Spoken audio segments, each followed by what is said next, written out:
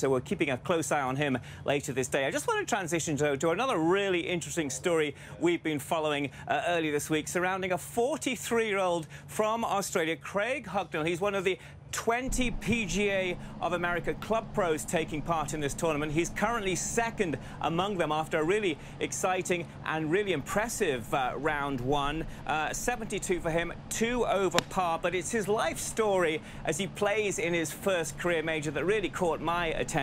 He actually was born in Papua New Guinea. He grew up in the city of Darwin in Australia after his family moved there, spending much time in the outback as well. And he was telling me that he was actually through a family connection, initiated into an Aboriginal tribe, learning a very powerful life lesson in the process. Take a listen. It's a very humbling experience. Um, you know, I look back at it now with, with great honor. It was something that, as a little kid, you know, I got to spearfish and hunt and and do some walkabout type training. You know, learn how to to look for witchetty grubs and which plants were poisonous and which fruits you could eat and that kind of stuff.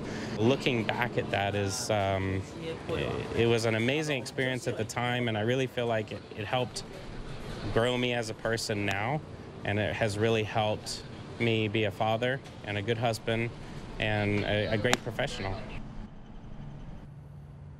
Uh, really inspiring to spend some time with Craig. We wish him well, of course, uh, for round two and maybe beyond. Who knows? Back to you, Amanda.